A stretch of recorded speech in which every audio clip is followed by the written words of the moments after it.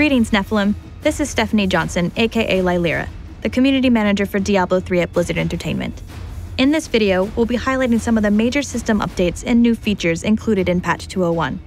We've got a ton of cool stuff to cover, so let's get started.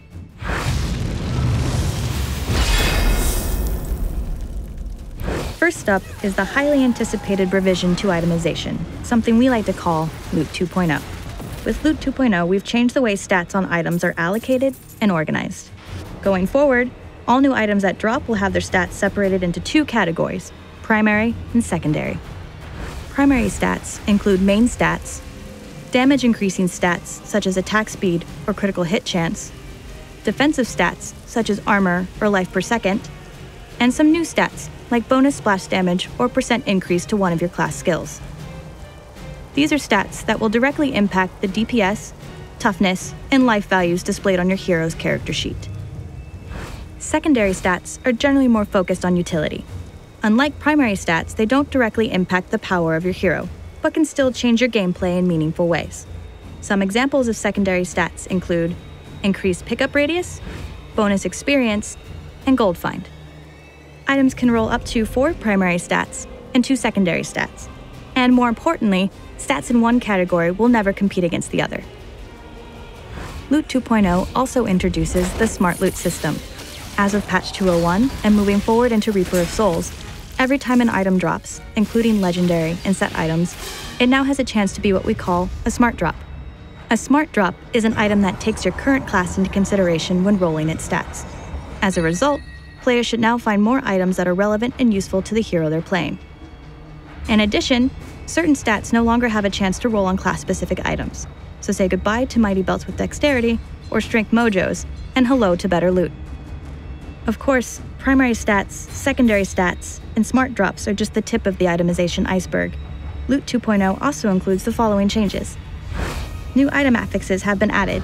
Keep an eye out for splash damage, cooldown reduction, resource reduction, bonus physical damage, and class specific skill bonuses. Item stat ranges have been narrowed. This means that instead of an item having a range of 1 to 200 strength, for example, its range might now be more like 140 to 200, meaning that, on average, items should be much more powerful. These stat ranges can now also be viewed in game. To see how well your item rolled, simply press and hold Control while its tooltip is open.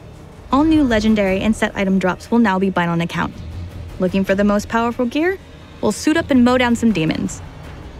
And finally, all legendary items have been reworked with one or more of these points in mind. And many legendaries have also had their powers revisited, with the goal of making them build changing. Please note that these changes will only affect new items that drop. Your existing items will remain untouched and will not be affected by any of the updates we've discussed.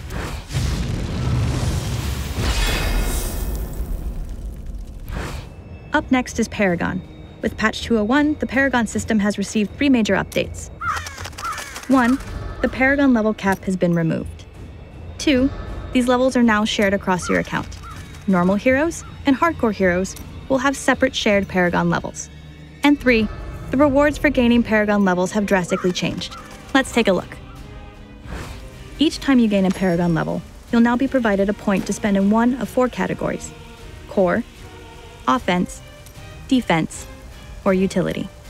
Core points can be spent on your class's primary attribute, vitality, movement speed, or bonus class resource.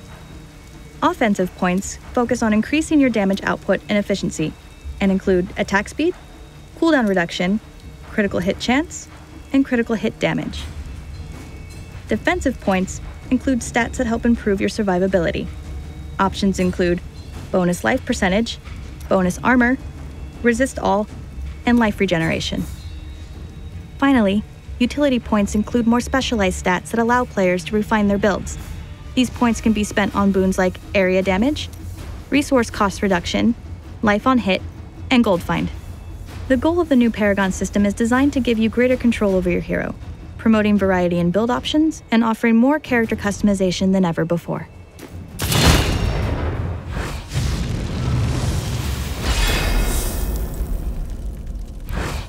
Moving on to difficulty. Game difficulty settings have changed quite a bit in the latest patch. How exactly? Well, first we've removed the tiered progression system from Diablo 3. Under this system, players were required to progress linearly through Normal, Nightmare, Hell, and Inferno, completing the campaign on one difficulty before unlocking the next. This system has been replaced with what we call dynamic difficulty. Monsters will now level up alongside your hero, growing in power and abilities as you do. In addition, we've added 10 new difficulty settings, replacing the old monster power system. These new difficulties are Normal, Hard, Expert, Master, and Torment 1 through 6. Normal, Hard, and Expert difficulties will be immediately available to all players, while Master and Torment difficulties will unlock as players progress through the campaign. Note that unlocking a difficulty on one hero will unlock it for all heroes on your account. Each increase in difficulty level offers additional challenges and greater gold and experience rewards. Players in Torment will also be rewarded with an increased chance to find legendary items.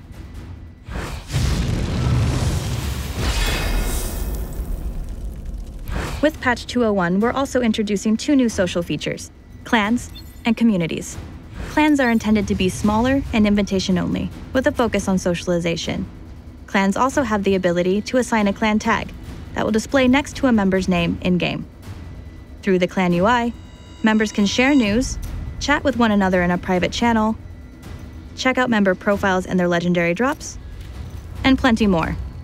It's a great way to organize your play and keep in touch with those you game with the most. In addition to clans, players can also join communities. Communities are designed to be a place where players can come together for any number of reasons, including playing the same class, frequenting the same fan sites, or living in the same geographical area. Communities can be public or private and support a nearly unlimited number of members. Similar to clans, Communities also offer a variety of options for sharing information and encouraging interaction between players who have common interests. But that's not all. Check out some of these other cool changes included in the patch. Chests shrines now have a chance to be cursed, starting an event when inspected.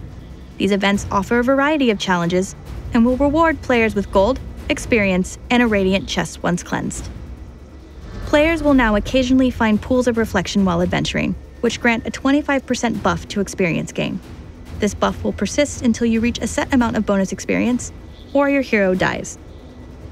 Champions and elites can now spawn with five challenging new monster affixes, including Frozen Pulse, Orbiter, Poison Enchanted, Thunderstorm, and Wormhole. And last but not least, we've revisited and revamped all the original hero classes. Be sure to review our official 201 patch notes for more information about these features. That wraps up our recap of Patch 201. We look forward to hearing your thoughts on the Diablo 3 forums and can't wait to share more about our upcoming expansion, Reaper of Souls, as March 25th draws near. Thanks for joining us, and we'll see you in Sanctuary.